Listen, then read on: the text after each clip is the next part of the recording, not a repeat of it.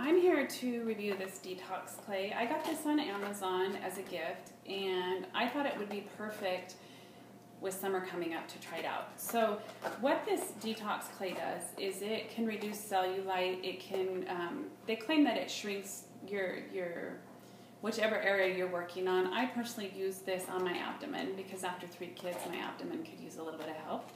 And so this is a pretty cool uh, body wrap. It comes with seven packs of this clay right here to use. And to use the clay, you simply just put it in a glass bowl and you mix it with a spoon and you mix it with two tablespoons of water. Before you do that though, you want to boil a pot of water because what you're going to do is this, this comes with these two wraps and you're actually going to put these wraps in a bowl and you want to pour the boiling water over it. And you want to leave these wraps for 10 to 15 minutes in the boiling water. And then once they're the, the 15 minutes is up, you want to make sure that the water is not too, too hot, that you can resist it obviously with your skin. And you want to wring them out so that they're damp but not soaking wet. And then uh, First, you want to apply this to your area that you want to work on. You can use this on your thighs, you could use it on your arms, you could use it on your abdomen, just about any place that you want to lose inches and tone and tighten. So basically, you would want to take this and you want to put it on the area. I will tell you this is a little messy. You want to do it in your bathroom over the tile.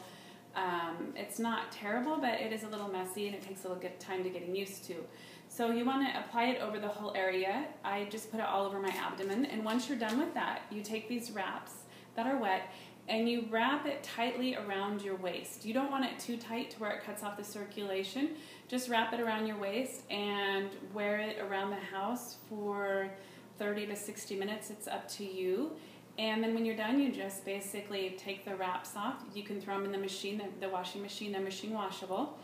Um, and then you want to take a shower and wash it all off. And I would say I saw a difference after about three times of using it. Uh, the first time you could see a little bit of difference. The second time you could see more, but the third time I could really see a difference.